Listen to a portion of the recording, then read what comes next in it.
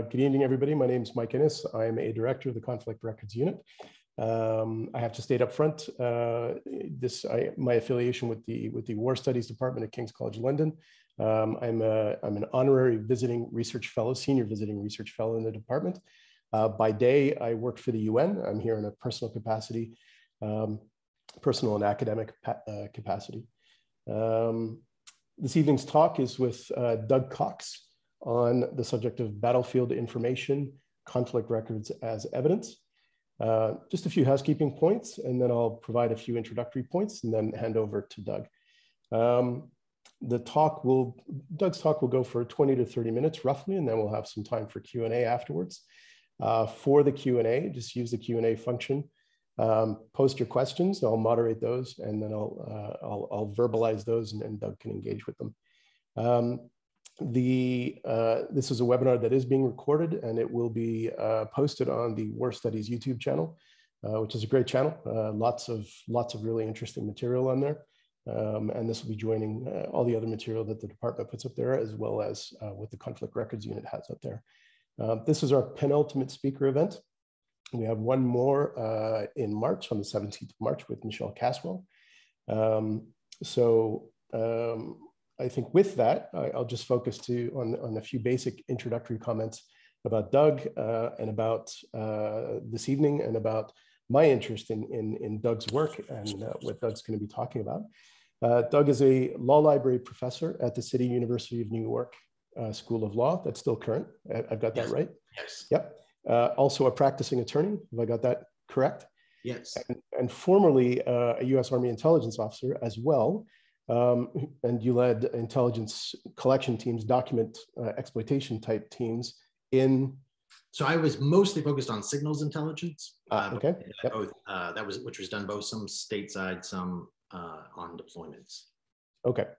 Um, and Doug is also importantly, I think Doug's also published quite a few important uh, articles that are really worth your time. Um, and they've been really influential in shaping my own thinking about um, you know, the, the wide world of conflict records. It's, it's you know, conflict records it can mean a, uh, you know, a lot of different things. Uh, but conflict records, document exploitation, battlefield evidence and information, captured enemy documents.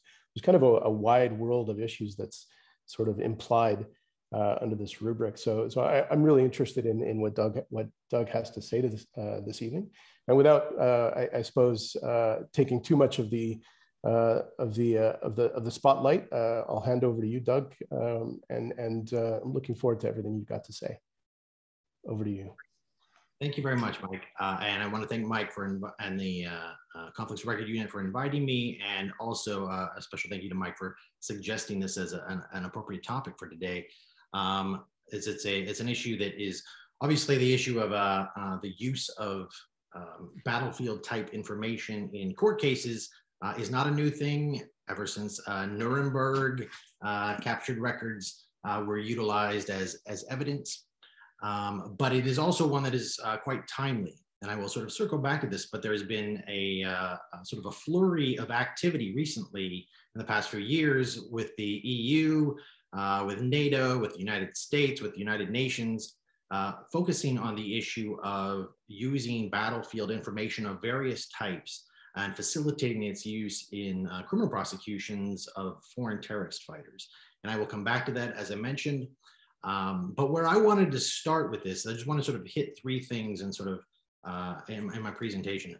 One is I want to sort of introduce the topic and some of the issues that arise with the use of this type of information as evidence by starting with a uh, where the rubber hits the road example, a real world example of this type of information being used in a court case that I think illustrates both how this uh, type of information can be a compelling and unique form of evidence, but I think it also illustrates how uh, we need to be careful with it. And there's some issues that can arise in those contexts that are, that are also unique uh, and create unique problems. Uh, the second thing I want to cover is just talk a little bit about the sort of different phases of this process from the first phase being the collection of this type of information and the different forms that can take. Uh, the last phase being the use of this evidence in a court case. Um, and then uh, I think both of those get a lot of attention, but there's this sort of middle phase that is a little bit less transparent. It's more opaque. It's a little bit of a black box. And I think that that is uh, an area where there, I think there needs to be a little bit more emphasis. And there are some um, experiences that I've seen in that that uh, I, I, think should, uh, are relevant to sort of how, how we should address those. And then finally, I, I want to circle back to sort of some of these more recent uh, developments and activity surrounding this issue um, and hit some of the sort of bigger picture questions that are being discussed right now, such as uh, questions of like, with this kind of evidence being used in courts, is this the sort of thing where we need special courts and special rules and special laws and specially trained judges? Or is this an area where um, the um, normal judges, normal courts, and normal rules are sort of up to the task and that we should rely upon those um, and, and, some related issues as well.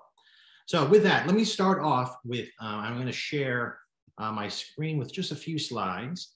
Um, just to illustrate and talk, start uh, from an example of using this sort of information. So, so um, this example um, is real world, and I shouldn't have to say this, but I'll just um, clarify. Of course, everything in here is uh, publicly available information and doesn't include any classified information from those cases. Uh, beginning in 2005, I uh, represented detainees um, in Guantanamo in their habeas corpus litigation. So it was the civil litigation side of that litigation. Um, and there was a significant quantity of battlefield information that was utilized as evidence in those cases. Um, and so we got sort of a, a firsthand look at some of uh, these types of issues. And I want to just sort of present one of those examples of one. So as a background to this, uh, you may recall, or you should recall the, uh, uh when the US started operations in Afghanistan. There were individuals captured in Afghanistan, people arrested in Pakistan. Uh, they were held by US forces, and approximately 900 of them were then transferred to Guantanamo. Uh, shortly thereafter, um, because this sort of raised sort of rule of law questions, were they being sort of hidden there? Is it were they sort of were they taken to Guantanamo because of sort of a, a, uh, a legal limbo? Uh, there were was a habeas litigation filed. Um, uh, the detainees were incommunicado, um, so the cases were sort of authorized by family members who believed they had a son there. Uh, the government's response was initially that these cases don't even belong in this court, uh, that um, these are wartime armed conflict detainees. Um, they're outside the territory of the United States. Uh, therefore, the, the court doesn't even have jurisdiction that went all the way up to the US Supreme Court. The U.S. Supreme Court found that these detainees do have a right to file habeas cases in US federal court. And it was at that point uh, in 2004 that the government first was sort of forced to put forward evidence to support their detention. Um, and that came in the form of a variety of sort of unclassified descriptions of the evidence that they had. And I just want to use one of them that came up in a number of cases. Um, detainee's full name and phone number were found on a seized computer, which was associated with an Al Qaeda operative. So this was initially part of a court filing, and this was a unclassified um, description, one of several pieces of evidence being used in an individual case. Right, and this is sort of an illustration of a type of battlefield information where uh, some uh, some computer was seized in a place that was overrun. Um, a computer was was taken, it was exploited, uh, everything was sort of pulled out of it, even information that would have uh, perhaps been sort of superficially deleted, um, and then this information came out and then was used in for military intelligence purposes, and then it, it comes forward as a form of evidence in the Guantanamo litigation.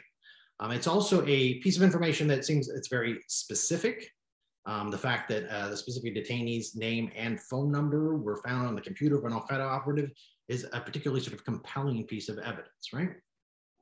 So this was just one piece of it. Now, at this time, um, after the Supreme Court case, it was still the case that the government's position was even if they have the right technically to file a case in federal court, they have no substantive rights underneath it to enforce. And so they put forward uh, on the public docket the uh, unclassified allegations such as this that supported the detention, but the underlying material they said was classified. Uh, and so no one had access to it, they uh, except perhaps the court if they specifically requested it.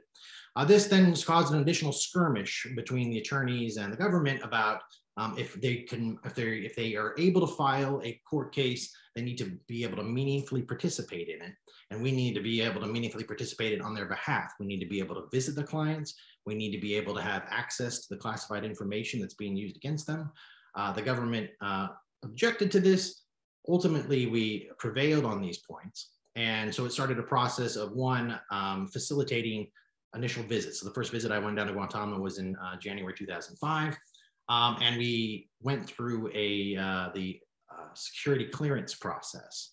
I had had a previous security clearance uh, uh, in when I was in the army, um, but I had to go through the whole process again for purposes of this um, to get access to the, these sorts of materials.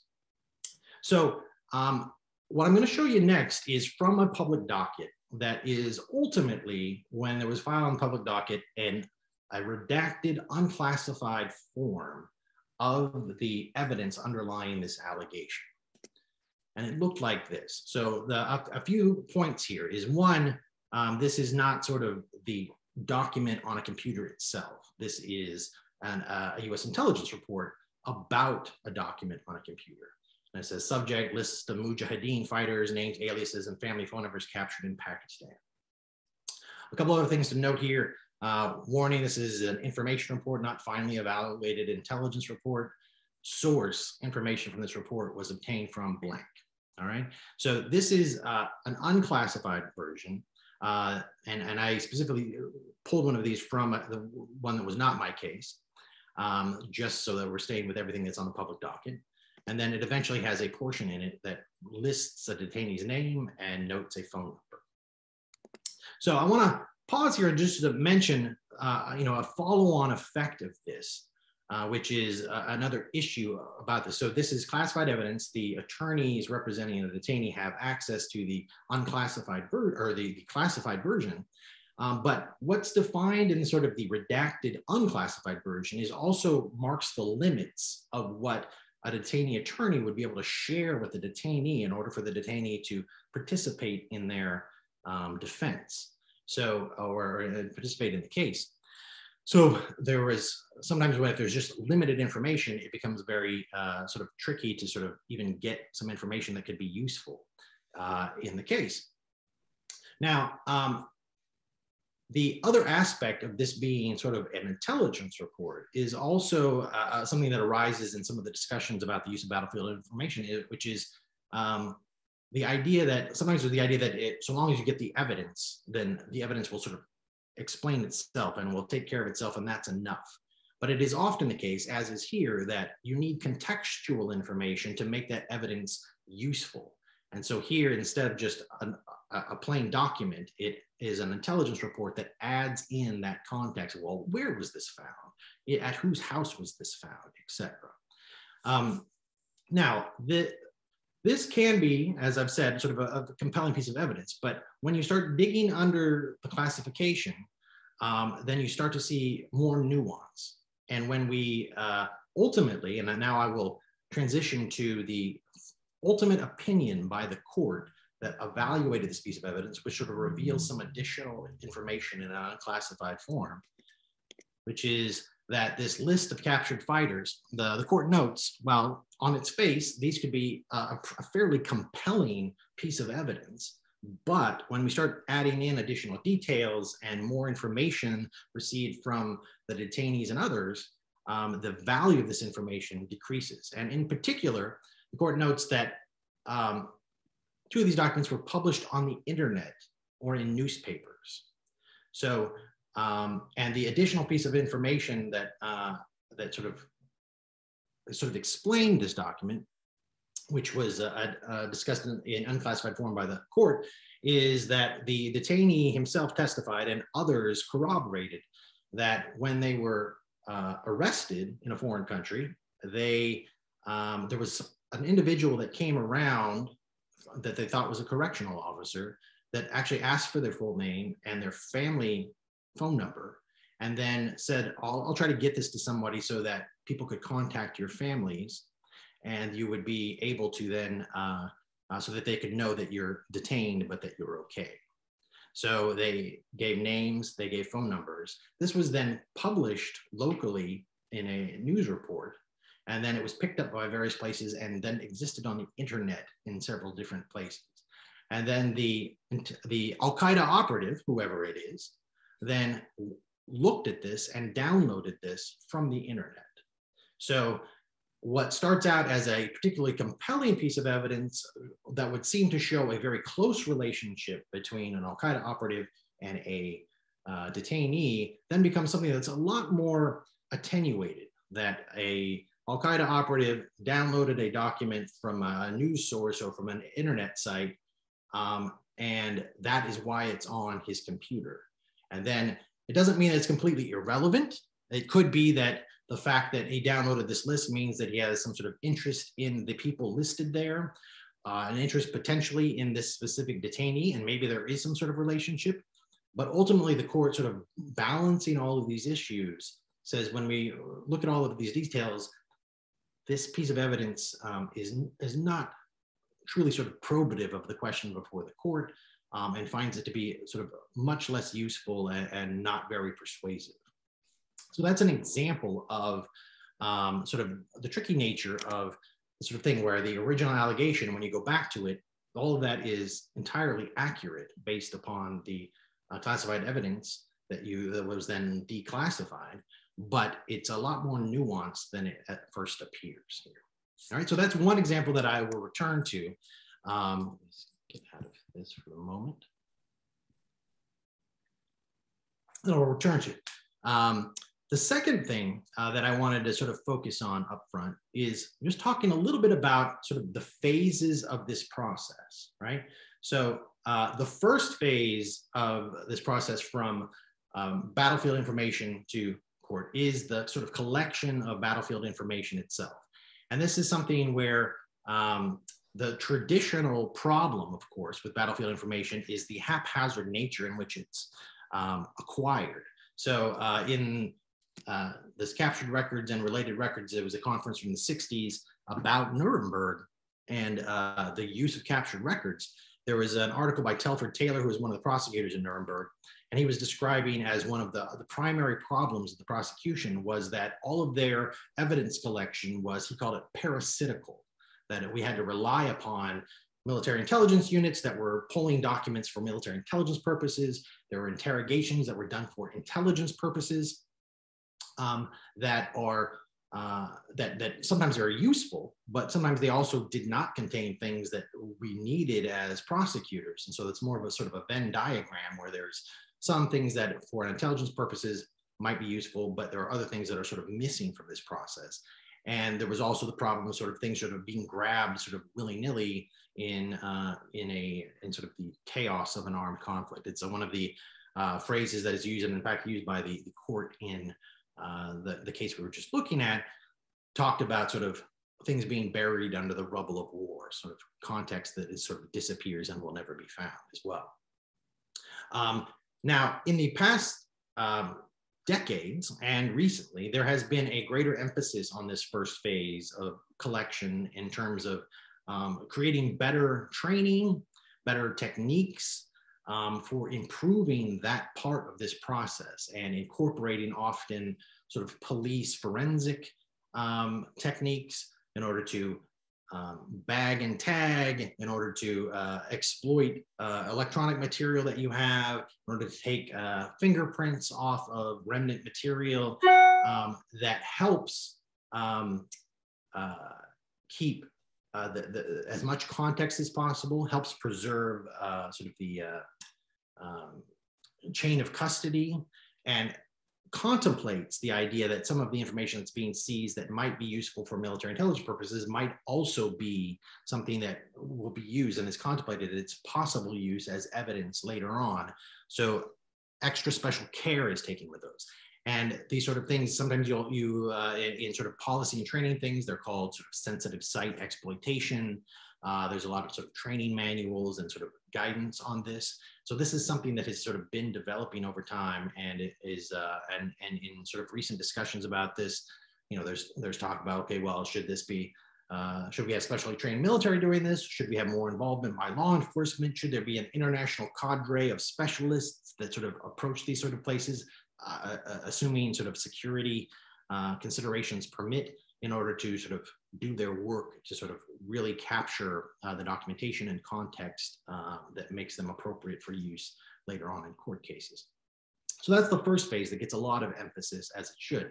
The last phase is sort of this, um, the end of uh, the usage of this material in a court case. And that's where you get sort of all the lawyers involved. It's like, okay, well, let's look at these issues of admissibility and evidentiary standards and what sort of procedures could be utilized for authenticating information and ensuring that we can uh, the, the, the, chain of custody has been uh, protected throughout, and this is now sort of a piece of evidence that this court should accept. And what and when it is in the court, what sort of weight should be given to this sort of issue. So this is another area. This is the other phase where there's a there has been a lot of emphasis, and I think that there will be. Um, it, the, these create sort of unique, sort of uh, granular and meaty legal issues that I think get uh, lawyers excited, and I so I, I, don't think there's any risk of this phase sort of being sort of ignored. Um, and I'll, I'll, come to some of the other recommendations uh, that have been made recently about about those in a bit. But the thing that I want to flag here up front is also this the the phase that's in between those two, um, which is a bit more of a uh, an opaque black box um, that is uh, where there's a lack of transparency, which is you get these materials uh, and then they are collected together and then they go into some sort of pool. And this pool could be a database, it could be multiple databases. Um, and then some person or some team is then taking certain of these things, but not all of them, out that are then being identified for possible use as evidence in a case. Right. And this is um, one of these things that sort of doesn't get focused on, but from my experience in the sort of Guantanamo litigation, um, th this is sort of the crux of some of the sort of legitimacy issues of this sort of arc from collection to use in, in court that uh, I think needs a little bit more attention and perhaps a little more uh, clarity and, and, and, consistency. So just to give you uh, an example of this, so this is um, a different type of access issue. So um, in, the, in the first example, um, there was an access issue in terms of this is evidence that has been proffered, and there's a question about who has access to an unclassified version of this, who has access to the classified portions of it or an unredacted version of it. Um, but this is something that was put forward by uh, the government or in an analogy in, in, in a, uh, by the prosecution. But there's the other question of like, well, what other information is there that's relevant to this? So for, for this example, I'll give you another one from Guantanamo, which is when we got to the point of uh, the government providing the classified evidence, um, the justifying the detention of the detainees, uh, you go to a secure facility and you open your file, and there is the classified evidence uh, that the government is relying upon. And you start going through that, and, and as I mentioned, a lot of this consists of battlefield type information, which could be uh, battlefield interrogations, could be documents that were found, computer data. It could be uh, something about pocket litter. What did they actually have in their pockets at the time they were captured, right? But let's take an example where um, there is an interrogation report of a, another detainee. And this other detainee says, um, oh yes, I know client number one. So I've got client number one's file here. It says, client number one, yes, I know that guy. That guy is Al Qaeda. I, in fact, was with this guy in a tunnel in Tora Bora at the time Osama bin Laden was there. Um, and at the time we were fighting against US forces and the Northern Alliance. All right, so you have this report, and um, that could be the only thing from that detainee and the only thing to go on in that file. So this creates a, a sort of a tricky situation because if there were the situation where this was a sort of a standalone prosecution or a standalone um, case, then that might be the only thing that the government has given you. And if you were in a situation where, okay, well, how do we evaluate this information, right? How do we how do we find out more about this other detainee? Is this other detainee reliable? Is there Was this detainee uh, mistreated? Was this detainee uh, promised something? Is there uh, any other evidence that might suggest that this other detainee is a uh, is an unreliable source, or does it turn out that this is a very reliable source and this is very strong evidence that uh, that undermines the, uh, our own case? Now, if you were to have only one case, and with only that, you went forward to the, the government and said, hey, we would like um, other information about the detainee that uh, is interrogated in this interrogation. The government will say no. And if you took it to the court like that, I can uh, rehearse for you exactly what the government attorney would say. It would be like, Your Honor, this is outrageous. Uh, they're representing detainees captured in an armed conflict. We shouldn't even be in court, but we're in court.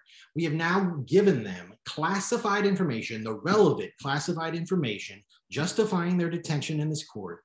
Um, and now, without any inkling or just pure speculation, they are now asking to undertake a fishing expedition into highly classified government files in the hopes that they might find something that might support their case where they have nothing to go on.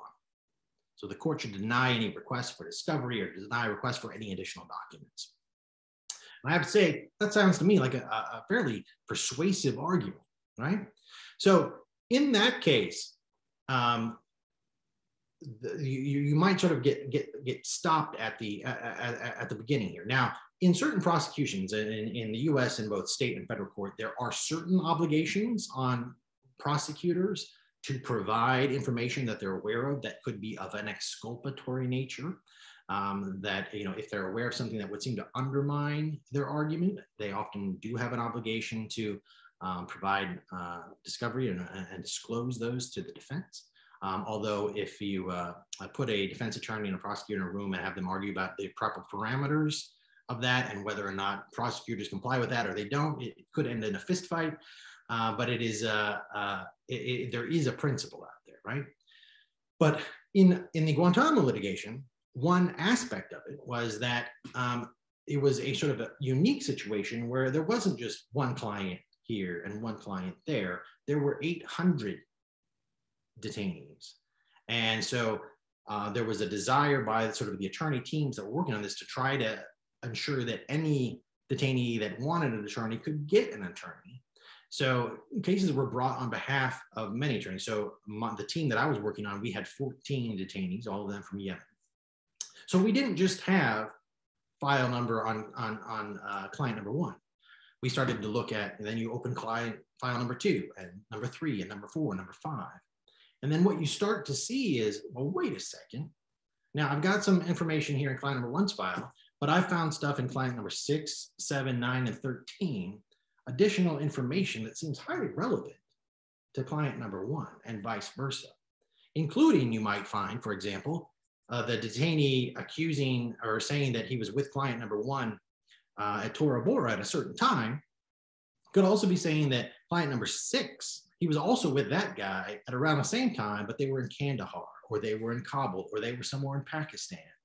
And then you start to piece these together and you're like, well, wait, wait they're, they're, now that I have more access to more information, some of this is starting to not make sense. And it starts to sort of form this um, uh, sort of a greater structure of like what what are the other documents that might be out there and putting in a much stronger position to go back to a court and say hey uh, they said this was all the relevant information, but now we're finding this other information that we view as exculpatory or we view as um, undermining their argument. And they didn't give that to us in these cases. There's got to be more of this.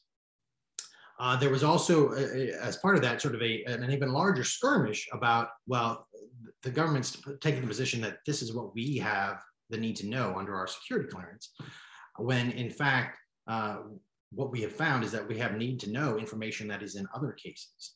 And so then you eventually had a situation where you had sort of the secure facility where um, government records in all of its different cases were available, all of the sort of forms of battlefield information. Uh, that when you start comparing notes, oh, do you have a client that's on one of those lists? Oh, do you have a client that was accused by this? That when when you start creating the larger pool of these documents, it's almost like sort of re-engineering the database that's on the other side that they're pulling from, and uh, some of us would argue that they're sort of cherry picking from, and then we're trying to reconstruct a bunch of that on the other side, and then find the, the connections and find uh, sort of to evaluate their evidence with with more uh, clarity.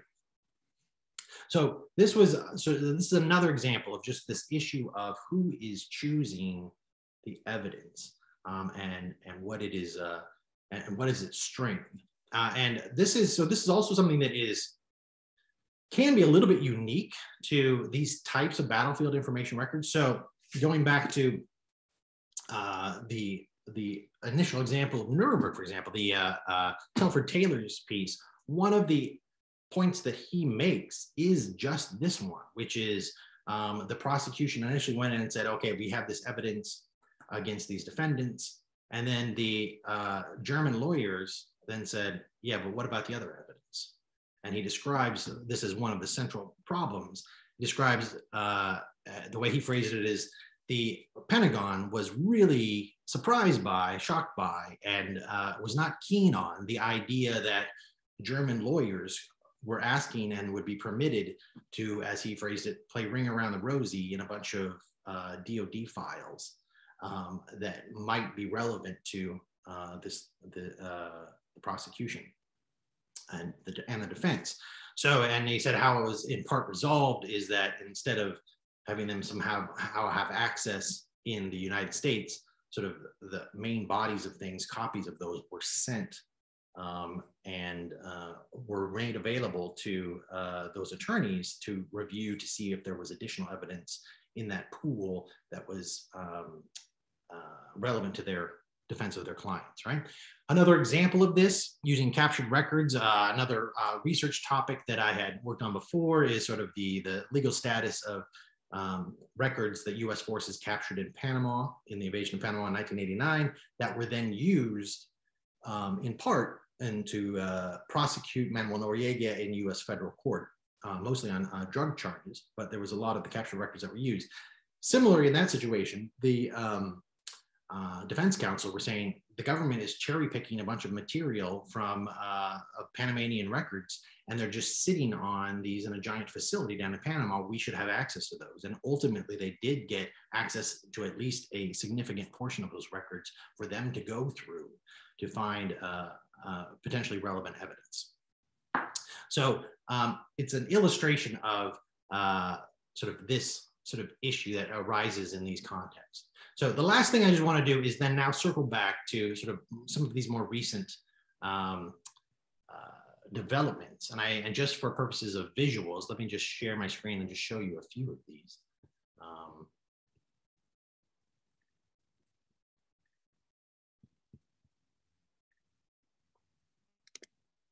Uh, there is a number of these memorandums which are very easy to locate. If you Google battlefield information and evidence, you, you will instantly get on your screen a number of these more recent developments. Uh, Eurojust has a memorandum on battlefield evidence. Uh, DOD, DOJ, non-binding guideline principles in the use of battlefield evidence in civilian criminal proceedings.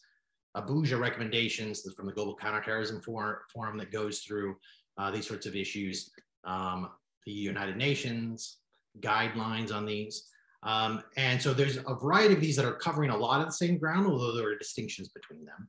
Um, and uh, the main focus on these, and it's sort of interesting, it's sort of almost the exclusive focus on some of these, is um, the issue of foreign terrorist fighters. So the, so the issue here is individuals that leave their home country, uh, they travel to a conflict zone such as Syria, or they travel to another country like Iraq or elsewhere, while there, they may participate in armed conflict, they may participate in terrorist acts, they may participate in war crimes, they may participate in other sorts of criminal activity. And then just as quickly as they went there, they leave and return to their home country. So it creates a situation where um, there could be evidence of their involvement in criminal activity that is in the possession of military forces, intelligence agencies, um, nonprofits, the United Nations in that area, but they have no control over the person. Meanwhile, the person is back in their home country, and their home country uh, government might be unaware of the activities they were involved in, or they might be aware of them, but they have insufficient evidence in order to sort of bring a charge against that individual. So these guidelines generally are talking about sort of greater cooperation in this area in order to share this sort of information and including, uh, you know, how, how do we get to um, information that might be in the hands of military authorities or intelligence authorities and get it to a prosecutor, a national prosecutor, in a way that can be utilized by that prosecutor as sort of admissible evidence at trial, um, consistent with um, sort of all of the sort of the obstacles that you have there. And what about problems of uh, some of the information is classified or the source or method of uh, how it was obtained is classified? Um, and what about, you know, are there any restrictions on admissibility of things coming from the military? Um, the other aspect of this is sort of these different sort of papers and, and discussions of this issue have not sort of been unanimously thought to be a good thing. There is also uh, the Special Rapporteur for Protection of Human Rights has a uh, April 20, 2021 um, paper on sort of uh, her position on some of these efforts, uh, including things like being concerned that they're called guidelines when they really are sort of, which seems like it's a more, uh, a stronger uh, piece of almost soft law versus things that are sort of at the discussion sort of general level. Uh, and a few things that I would say about this, uh, a couple things. One is um, what I see in these materials and what's being sort of contemplated by this as somebody who um, is sort of looking at it from the sort of an academic standpoint of uh, focusing on things like captured records, right? That they are uh, they're doing a very positive thing in terms of uh, sort of focusing on sort of that collection process um, and the um, uh, sort of issues having to do with admissibility. But I think that um, I also feel like there is uh, sort of a, a, connection to the some of the examples that I've given you that creates sort of a unique problem here, which is that um, the sort of pool of these materials from which evidence is being drawn um, creates a, a, unique situation where the person controlling that information might not be the same government that is doing the prosecuting. And so, in my example of the Guantanamo cases, where, uh, or in the in the Nuremberg example, where the prosecutor is also the one, or a related government is the one that has these materials, so that access to them could be granted. Here, you have a situation where you potentially have sort of cherry picked information that's being used, um, which potentially raises uh, fair trial concerns and sort of access to the same level of information. Uh, the uh, special rapporteur, uh, one of the things that uh, she raises is that um, there are um, references throughout all these documents to sort of the fair trial concerns, and there's sort of references to them um, in passing, but that they don't necessarily feel like those considerations have been sort of baked in to uh, these procedures. And there's sort of a lot of work to be done there. The final thing I will say is that, um, uh, especially in sort of in, in, in the US document, um, it, there, there seems to be sort of a suggestion that um, uh, a lot of these sort of recommendations and things are based on uh, sort of the US's experience with these. Um, but then I find that hard to uh, reconcile with my uh, sort of experience with that and what and what I what I've seen in terms of especially in terms of things like um, should there be special rules? Do we need special rules for classified information? Do we need special training for judges? In the U.S. experience, uh, the most significant modern and still ongoing example of uh, battlefield information being used for criminal prosecution of accused terrorists is the US military commissions process, which um, has been sort of a mess. And more than two decades after 9 11, the main 9 11 uh, defendants are still sort of mired in pre-trial considerations, and there, there has been no trial. And part of that is, of course, the, the problem that some of the battlefield information obtained that the government had wanted to use directly or indirectly is information that was obtained via means that at least violated international law and probably should constitute crimes in terms of torture and cruel, inhumane, and degrading treatment. Um, whereas, in contrast to um, the US experience, which is the most effective and efficient prosecutions of terrorism suspects in the United States have been things that have happened in normal courts with normal judges and normal rules of evidence in the federal court system. Uh, there they follow tried and true standards. They recognize, as the uh, judge did in the Guantanamo case, that there can be some sort of unique issues here, but they can adjust to those. They handle everything from complicated civil trials to very complicated criminal trials having to do with financial uh, um, complications. And they, they, they're more than up to the task to sort of handle these issues. And so that's a final thing that's sort of raised by the special rapporteur is, um, is there, are, are we saying now there's a special problem here and special rules should apply? And is that really consistent with um, uh, what, what isn't as necessary or should we try the normal path to ensure that sort of all of the normal fair trial considerations are, are accounted for. So I will, will end my sort of introduction on that. Doug, thanks. That, that was really fascinating. Of course, I think I think everything our speakers say is fascinating, anyways, and that's why we have have the speakers come um, to talk about these things. But I'm really intrigued by by a few specific points um, raised in your in your talk. I think before I suggest my questions, I'll just remind um, the attendees uh, that they can post their questions in the Q&A function. Uh, I see one or two names uh, that I know and others that I don't, um, but I hope to know, get to know them eventually. I see Matthew Ford, who was our last speaker, uh, one of our last two speakers, who dealt with a lot of these issues from a more theor theoretical and critical perspective. Um, and so I'm, I'm expecting to see some some interesting provocative questions no pressure um, I, I, suppose I'll, I'll, kick things off with with um, these these these might be sort of peculiar kind of questions but i guess as a um, as a non-lawyer somebody trained as an historian but he's worked in some of the same environments that, that you've been talking about i'm I, I was intrigued by the the examples of documents that you showed us at the beginning of the talk um, going from an information report that wasn't a finalized intelligence report, which to my historian's mind would actually make it more valuable because it's closer to the original source. And you know, the validation as an intelligence document would take us further away. There's more applied judgment, more analysis, but actually gets us further away from the, the nuggety detail that maybe historians would be looking for in primary documents. And I guess I, I one of the things that I've been I've been sort of playing with again not not coming from you know legal training but historians training where we're used to thinking about primary and secondary and tertiary documents really primary and secondary documents and how that meshes or doesn't at all um, depending on your point of view with with the wider world of documentary evidence and where that fits with what we're talking about you know when we're talking about battlefield evidence and battlefield information and I'm just wondering if, I mean, without putting you on the spot and turning this into a talk about documentary evidence, uh, I'm just wondering if you if you could possibly address that. Is there is there common ground between you know the historian's interest in primary, secondary, tertiary documents, and you know what that means in terms of you know the the, the further you get from first observed um, detail or first recorded detail.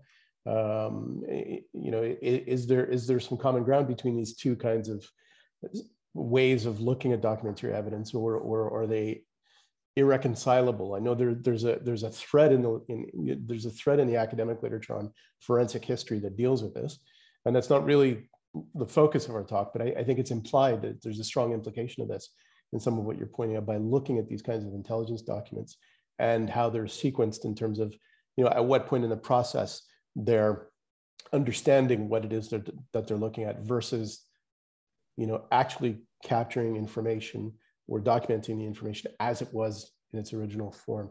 Yeah. I, I guess it's more of a provocation and a yeah. comment than a question, but I was just wondering if you could maybe address yeah, definitely. So it raises a, a number of uh, issues that sort of came up in the case and uh, uh, that I've sort of struggled with in, in, other contexts as well, which is, you know, there is an interesting thing, which is, um, you know, the intelligence report being sort of unfinished and it's sort of, here is just, here, there is something to that, that also there have been situations where there's been uh, information that sort of the argument is that it, it is actually um, more something could be more reliable because there's also a built-in incentive for the person creating this document who's working in military intelligence to be as accurate as possible because they are serving a larger interest um, there. There there was um, in terms of the sort of and i'll start with i'll come back to this with the evidentiary point but in terms of the types of information so this was something that um, i remember the moment of seeing some of these documents for the first time and i was like wow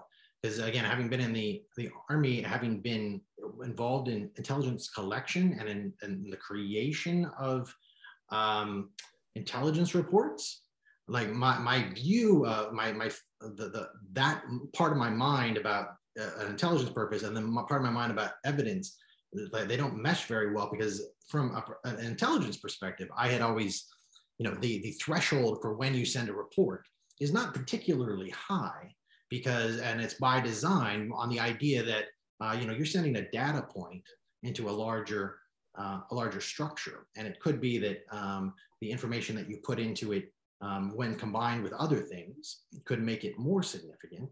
Um, or it could turn out to not be insignificant. It also, when the person is sending an intelligence report, there also is sometimes it's caveated on it, and sometimes it's just understood that the consumer of this will understand that this is the information we got, but this information could turn out to be inaccurate, or it could be misleading, or, or somebody could have intentionally given information that was misleading uh, to sort of undermine uh, the intelligence process. Um, so that was uh, so the idea of that being sort of used as evidence was was a bit um, uh, confusing at first. And I will also say one of the things that is um, mentioned in some of these documents is the need to educate judges about these types of materials.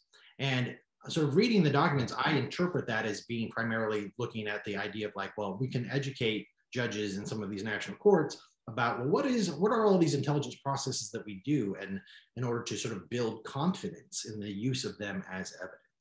Um, but I also, from my perspective, is like, oh yes, we need to do some training. If we're going to do some training, we need to look at all the different sides of it. And this was uh, this was sort of rehearsed in miniature in the Guantanamo litigation. So one of the very first exhibits on the government side was a document drafted by the Defense Intelligence Agency that was literally called Intelligence 101.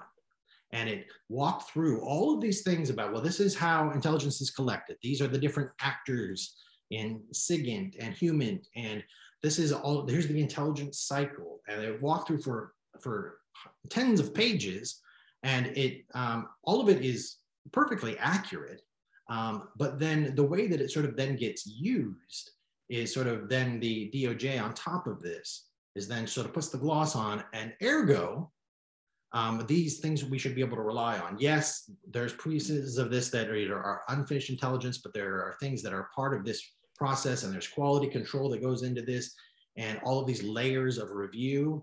So what, what we should be able to feel comfortable relying upon this. So the detainee attorneys also then did the, a similar form of education um, in the other direction by uh, one of it, one, uh, one that was used, and we used it in ours, was a, a declaration uh, that some of the attorneys got from a retired senior CIA uh, person that was in operations in East Asia. Um, and he did this very detailed declaration being like, um, you, here's what you need to know about this pool of message traffic that is in this. You know, the unfinished reports are about all kinds of things and the sort of level, uh, the threshold for sending them, as I was mentioning earlier, is, is, low, and the quality of a lot of this is low. And so he used some examples, and of course, this whole declaration had to be sort of done through pre-publication review through the CIA to ensure it didn't include classified information, but it included things like there is a report in that same system that says somebody saw Osama bin Laden on a, a U.S. naval base in East Asia, and he was at the Navy Post Exchange shopping he said, you know, this is in that system. There's a, another system uh, saying that there's going to be an attack on a military base in a country in which the U.S. has never had a military base. That and he was making the point that especially after 9/11, there was uh, a, a push towards reporting everything on the fear that something is going to get lost uh, and that somebody's going to get blamed for not raising an alarm about a, a threat in one of these reports. So his larger point is that yeah, if somebody goes through and wants to cherry pick pieces of information out of this, they could sort of do that in order to support a narrative. Uh, you know, any narrative that they, they, they choose, there might be some support for it in that system. But in terms of the evidence, you know, the, the, the general focus of, uh, of, of, evidence in court trials is, is something that is very direct. Uh, is there a person, you know, we want, we want this person to testify. We want this person's direct eyewitness testimony. And then this also goes to, uh, you know, the rights of um, cross-examination. And so that the, both sides can both sort of question that person. And even though, and I guess this sort of gets also into sort of academic things, you know, the, the idea of memory and people's recollection of things is actually uh, in some ways um, less reliable than perhaps sort of things that are taken in sort of a specific time and place um, that uh, was was closer to the actual events. There is also this other issue of sort of hearsay, and that, that this raises a lot of, uh, from a legal perspective, in terms of somebody saying what somebody else said rather than sort of a, a direct evidence of it. But there are a number of, uh, you know, exceptions to that in situations where there is high probability that the person that's reporting the information um, would be as accurate as possible in doing so. So there's somebody calling 911 and they hear somebody say something and they're in an exigent circumstance. They're, they're not going to be sort of trying to come up with something.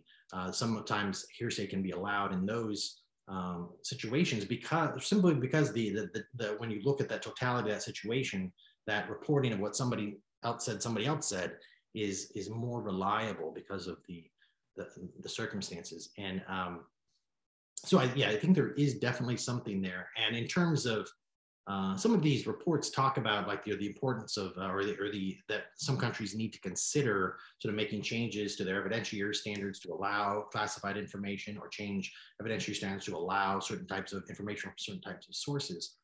Um, but the and it's often looked at sort of as a, a light on and off switch in terms of like is something admissible or is it not when um, some of the experiences have been that uh, some of the courts may allow something and recognize that it's not necessarily the best evidence or that it, it's it's not wasn't created under um, ideal circumstances.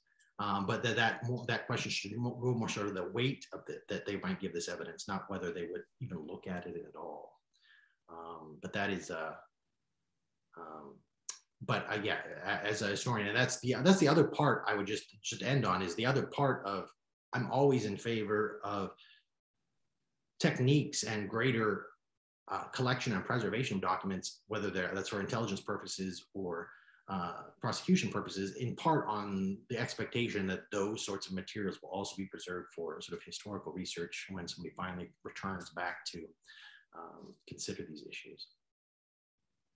So, I mean, that's that's a pretty good cue for some of the other questions I have, but of course it raises more. um, uh, I, I, guess I'll follow up with with something. I mean, you you you over the course of your talk, you talked about a, a you mentioned specifically measures to make this kind of information more credible that have been implemented over time. And actually, actually, I think you were talking about forensics specifically, but there were the introduction of forensics into, say, DOCEX or Domex practices, you know, bring, bringing that in. But I think you, you, you know, you, you addressed it a couple of different ways. One is authoritative framing. Um, you know, this, this is, you know, these are Defense Department documents, therefore you should take them more seriously, that sort of thing. And of course, then there's the kind of socialization of, of, of battlefield inf information, battlefield evidence through the, you know, sort of formalization and institutionalization of its use or potential use in, in criminal proceedings. Um, and then and then you've got forensics, introduction of you know techniques, um, approaches, methods, techniques to to uh, better preserve uh, contextually and, and in its entirety this, this kind of information in its original form as it was found. And, and just I, I guess the question that I that I that I've been asking um, in thinking about forensic history and, and forensic uh, various kinds of forensic ways of thinking about things, forensic aesthetics, as one academic has, has put it. That's, that's emerged, you know, since really since the Second World War as a way of looking at, at, at these things as they become sort of prominent and public uh, issues. and and, I guess it goes to your, your black box problem. And, and, on the one hand, and I'm wondering if there's a tension here, you know, on the one hand, you have um, this thinking that, you know, bringing in forensic approaches should be, could be, should be kind of the default setting. Uh, because while we're doing one kind of research, it may also have uh, applications or it may at some point uh, have to be used or should be used in, in a court of law. Um, but at the other, on the other side, you, you've got kind of what, you know, this black box, black box problem that, that you told me about that introduces kind of a visibility gap in, you know, what should be a transparent process. Forensics is about being able to track when and where and what exactly um, in the handling of, of evidence. And, and you've got kind of this tear line forensics, which seems to be sort of contradictory in, in terms, in, in, in, in, how it's applied. And I'm wondering if it discredits itself. So on the one hand, is it more credible or less credible to be bringing this in? It's just kind of a, a big question, question hmm. mark for me. And I'm just wondering if there's a tension built into this. I mean, I think clearly there is. I'm just, I, I suppose I, I, wonder what you think of that.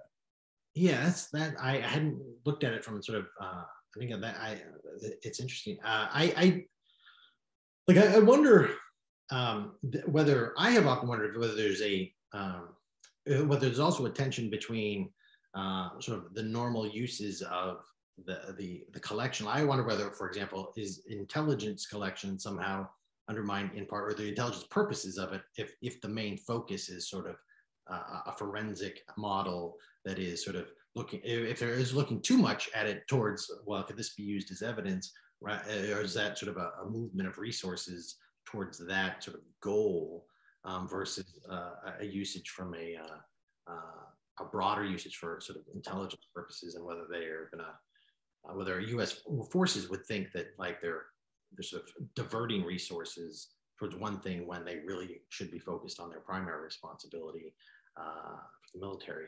Um, and, you know, I wonder, yeah, I mean, I, yeah, I'm not sure that I have a great answer to your uh, to your your posit there. I mean, it's um, I do, and I, I, do feel like also they, you know, the black box is also you know, what, what is this?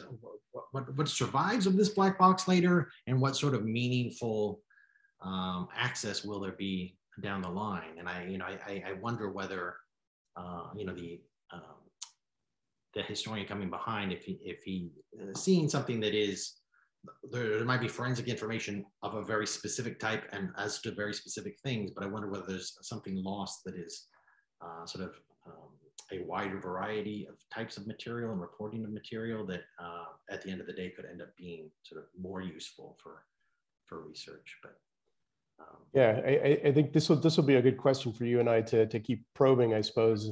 Uh, later, it, you know, it's one of those things that's swirling around, and I'm not sure if there's a a definitive sort of point on that, but it's worth definitely worth exploring. I mean, the, the, the black box, you know, you're talking, we're, we're talking about a kind of a closed system that's not, you know, part of it, as you said, it's, it's opaque. It's not meant to be, it's by design sort of closed and not open to everybody. So, so that creates um, a problem of, of verifiability, I suppose.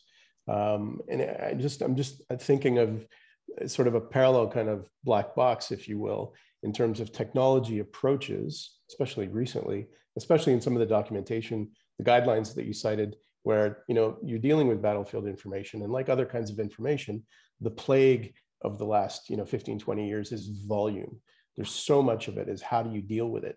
And so you got a different kind of box where a lot of this is being pushed in, sorted, sifted, and then meaning is being extracted, or the relevant datum is being extracted. And I just maybe, maybe there's another sort of interesting, I, I guess, parallel sets of boxes where things are rendered opaque in, in, a, in, a, in an effort to make them more meaningful. But again, is it more, it, does it end up just contradicting itself in some way? Or, or are these improvements? And we just have no, to get I, used, we just have to get used to it. I think it's a great point, and it, it is something that that comes up in sort of uh, the legal world of sort of discovery generally. The idea that it used to be where uh, this is how a bunch of junior lawyers used to be employed for weeks on end was, oh, our company has X thousand boxes of material that we might need to disclose to the other side. And so there's all these attorneys going through page by page. And now there is the development of sort of AI that where they scan all these documents in and it, they will say these are the types of documents that are relevant that we need to produce and they'll plug those in and then the, the, machine will learn and will identify and sort of stack all these documents of like these are the ones where there's a certain percentage that these are relevant. Um, and you know I, th- I think there there is something to that which is one the old school way of doing it and the old school way of that we view it as like somebody's going through and pulling these out is not how it's being done but also to the extent that, um, and also there could be problems with sort of if what, what AI is being used and what it's actually being able to find. But I wonder whether that also could sort of neutralize it in certain ways in terms of um, if there is some sort of a, um, an automated process or something that it is sort of helping to go through all the data or all the material uh, that could sort of uh, create what um, is ultimately sort of produced as being sort of more uh, more accurate, more full, uh, and more better coverage. And I and I definitely want to make clear that you know I, I don't mean to suggest in the Gitmo cases that um, you know there was any there was necessarily an attempt to conceal information or utilize the black box as something like oh we're just going to cherry pick. But I also feel like there's um, this is part of the question that arises um, with these. Um, uh, these questions of like who's doing what where um, th- and this is why this type of battlefield information i think creates a unique problem which is in the normal sort of criminal prosecution you have a much closer relationship between the uh, prosecutor and law enforcement and sort of the procedures that law enforcement use and how they handle evidence um, uh, so there's a uh, um, so that there's a uh, sorry just lost my train of thought. There's a uh, a use of it that. Um, oh yeah, so there, there's more of a a clear idea of like, well, this is what's available. This is what's available, and the uh, the prosecutor has more of a, a balance to uh, a view of what the full material is. So in, in terms of fulfilling their duties to um, sort of provide exculpatory information, if it is um, if it is available, that that's more available to them. And so in these situations where it's like, okay, well, wait, if there's a greater attenuation between sort of the prosecutor and the prosecutor taking their responsibilities very seriously to provide relevant information, and it's being handled by someone else, it's not necessarily meaning that the other someone else is less reliable or less honest, but I do feel like you have a uh, situation where they may not understand their job or understand what the prosecutor's job in the same way in terms of finding um, relevant and perhaps uh, exculpatory information. I've actually, there, there's a question posted in the Q&A. I, I looked down and I saw uh, a number um, and it's, it's from Matthew. So just so you're aware, Matthew Ford is, as I mentioned, the, the he, he spoke at the, uh, he's one of the two co-speakers at the last, um, at the last event in our speaker series. He's a senior lecturer at the University of Sussex um, and actually a, a P War Studies PhD graduate of, of the War Studies Department. Um, uh, he's posted a question here, so I'm just gonna I'm just gonna read it out. Thanks, Matthew. The, I came in late and have had to listen while other things have been going on in the background. I wonder what that might be. Indeed, um, there are a couple of other things going on in the world right now. So um, thanks for taking the time to, to join in. Um, Matthew writes, apologies if you've already discussed my question, but here goes. In a conflict environment, people adjust what they record and say based on who their particular context uh, and level, on their particular context and level of security or insecurity. How do you get around the challenge of individuals self-censoring? Is this just a question of verifying data points? Is there a hierarchy of evidence? And how do you manage that in practice? How do we manage the challenge? And how many people do we need um, who can do this sort of activity. And then there's, you know, apologies if this is a, a naive sort of question um, and he's still thinking it through. Um, this, this would be a great trio to sit down with, uh, with uh, beer, maybe at Waterloo Station, Matthew, and, uh, and pick it up. Uh, I think you've got the questions visible to you as well, Doug. Um, yeah. So I don't know if you want to work your way through them or focus on one of them. Yeah, so I, I, I thank you, Matthew, for the uh, uh, the question. I think, uh, yeah, I mean, what I think is, is the thing is that there are sort of situations, sort of legal situations that are in the sort of more normal sort of uh, national context where some of this stuff can arise a bit where you're talking about you know a is there a witness that is um, that is um, hesitant to come forward is there or is being sort of um, doesn't feel comfortable um, talking about something or the, the, you know somebody needs uh, protection or somebody that uh, has been a victim of um, a crime that uh, is sort of in that uh, mode where they have the most relevant information, or they have at least some of the most relevant information, but they're not in a position to uh, sort of provide it. Um, and sort of then then they are looking for other evidence to sort of to sort of supplement what's available there. I think um, uh, it's a I think it is a challenge in, in, in sort of trying to think that through, especially when you then expand that to a sort of a, a very uh, sort of a, a, national or a, a, local type situation to these broader questions where you might have things that involve sort of war crimes and uh, uh, victims of who are then also in a place where there is a um, you know they, they're not free to provide their um, evidence as well or provide their um, uh, information. So yeah, I think that is a a problem with anything that is sort of the transnational nature of this. I think adds a whole other layer of, of problems. And I know um, uh, from a very different standpoint, I, I, spent a summer working at the International Criminal Tribunal for uh, Rwanda, uh, and there were there were issues like this where they had to, um, you know, there was a witness that was needed for a to, to establish a certain crime and they had maybe they had some documentary evidence or they had some other evidence but they needed the evidence from a very specific person that could provide something that the, the court needed but they couldn't get otherwise where um, there had to be extreme measures undertaken in order to protect that person and allow them uh, the space and security to uh, provide that uh, testimony and so there were i've heard there were even things where you know somebody would travel to the local city. So the, the, the court was in Tanzania, and so many of the uh, uh, uh, the witnesses were in Rwanda, and so there would be somebody that would travel and present as somebody's cousin, and they would talk to that person in private, and then when that person was um, uh, if that person was willing to testify, they were sort of taken. It was almost like they were going on a traveling trip, and there was security and all of these things in order to bring this person uh, to the trial and allow them to sort of provide their testimony with uh, with some protections for security in order to get that piece of evidence in order to sort of make the case. Um, but I, I, think also in this, the idea of self-censoring that like, you know, if there are situations where people are not willing or cannot provide relevant evidence, you do end up in a situation of trying to find uh, some additional source to sort of uh, provide that evidence. I'm gonna I'm gonna ask I think one more question, and that's gonna that's gonna take us to I think um, probably as much time as we can spend on this. But you know, we you and I can hang back and, and chat some more.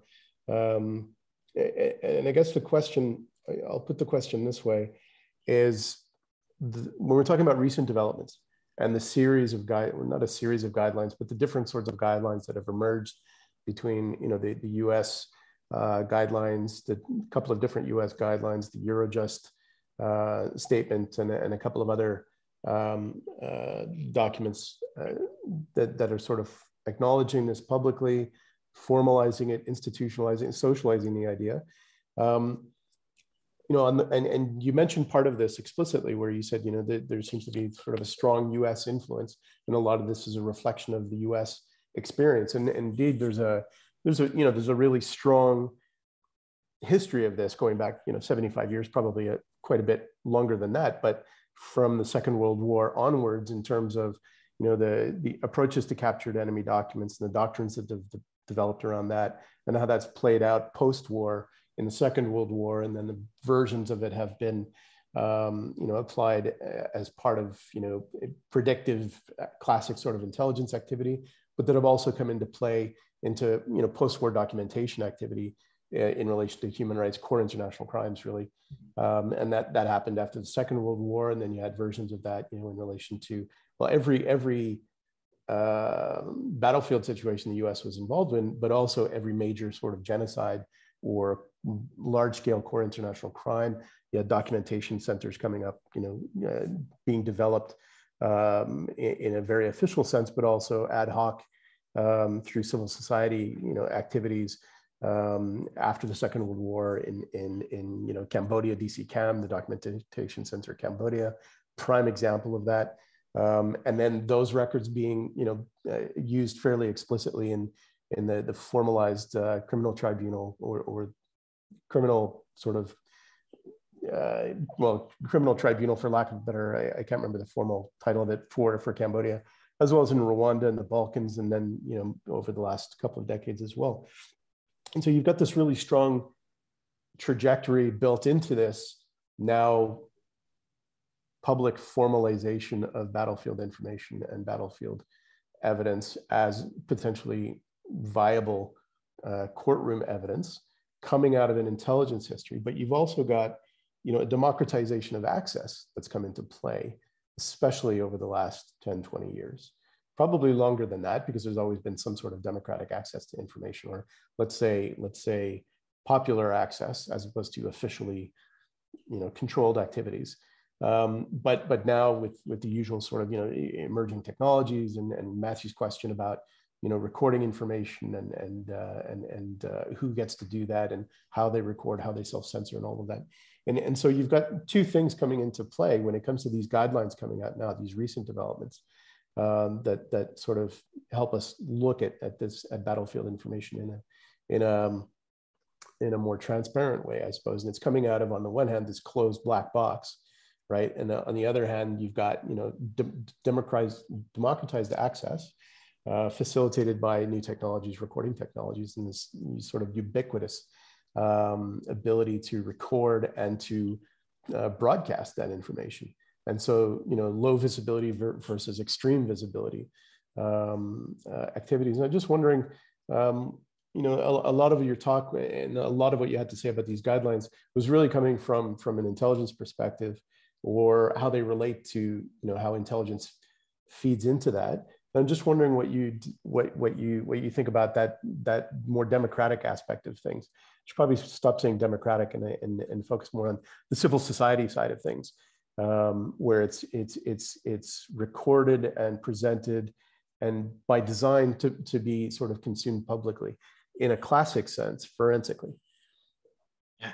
I mean i think that uh, the, those two things coming together um, and yeah the idea that uh, there are sort of the citizen recorders of all sorts of evidence and all sorts of uh, of things that are are and then the then the wide availability of that is allowing everybody to sort of see things that would have been sort of concealed or or or um, uh, hidden before. So, and the, the, one takeaway from your, your question, or one angle that I would come at it is, is something that I have thought about in looking at these guidelines, which is there's a part of me that is a little bit surprised by their narrow scope. That like they're talking like the idea of um, the larger justification for these guidelines is the idea which I, I, can get behind, and I think most people get behind, which is that we want to increase accountability for crimes committed in conflict zones. Um, and increasing accountability for that hopefully creates a deterrent so that there is less of these sorts of crimes occurring. But I find it a little interesting that that broader goal, which could have a lot of other things added to it, um, is then focused on this very specific foreign terrorist fighter problem. Um, about that we're, we're only applying it to this specific thing. Um, and I, your, your, your thought about sort of citizen uh, and, and democratic access to, like I, I was reminded and I had thought about these in terms of, um, and obviously in terms of things like genocide, in terms of things that are happening where people are documenting it and civil society is stepping in and providing documentation that they can make fully available to others to sort of uh, shed a light on things that are happening. But I was also reminded, you know, in terms of if we did have a situation where um, we were increasing sort of the capacity to document in these conflict zones, including, and that could include either people that are, you know, jointly acting as intelligence for something, but they're also uh, sort of feeding into this. But if you also had sort of, and especially the involvement of sort of the United Nations and international organizations, if you sort of broaden that a bit and the idea of having sort of an international cadre of people that are sort of focused on documenting crimes and conflict zones that is not necessarily tied to sort of well this initiative by the united states and they're pushing nato and this organization is uh, here. I mean there are possibilities there that that part of me thinks is um, unrealistic but there's part of me that thinks well what about these situations where there is something that happens in a conflict zone such as a drone strike or an airstrike and the united states immediately says that oh all those were combatants and then you have a local reporter who takes a picture of the scene and you see old people and children killed.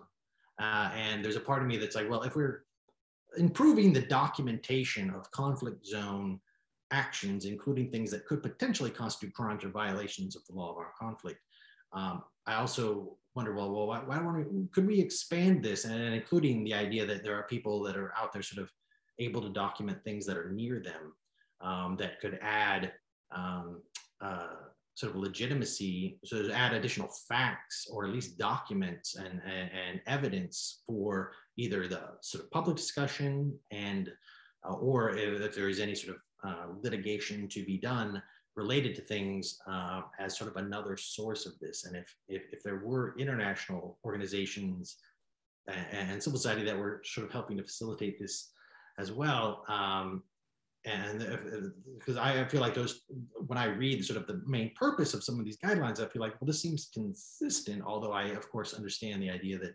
um, if you start focusing on actions of state actors, um, it, it, takes on a very different, um, a very different uh, sort of uh, feeling, and uh, and and so that the the, uh, um, and the the the interest in that suddenly suddenly changes a bit. So I, I, I, should have cued this with with you know this is your talk, Doug. Uh, you, you, get to have the final say.